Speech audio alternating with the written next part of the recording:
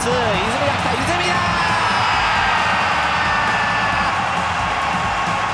左サイドからボックス進入ワンツーが起動しました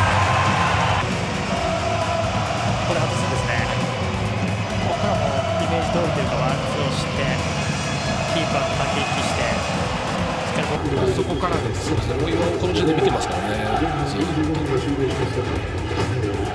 これを決める。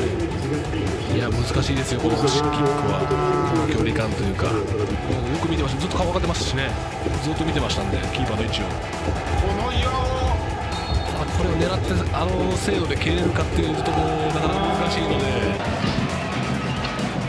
増山。さあよく見ていた。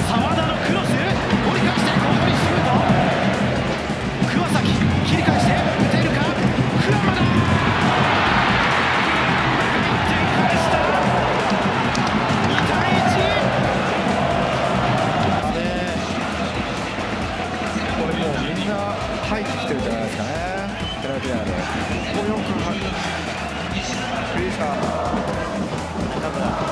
間でもらって背後へさあ松尾が裏を取ったボッに入ってくる右足のシュートだ。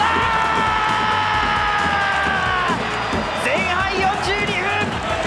均衡を破ったアウェイ大分トリニータところで前半。コース、いやースーパーゴールですよね、これ。ったけれどもそのままというプレーオンのサイン。ゴールの正面。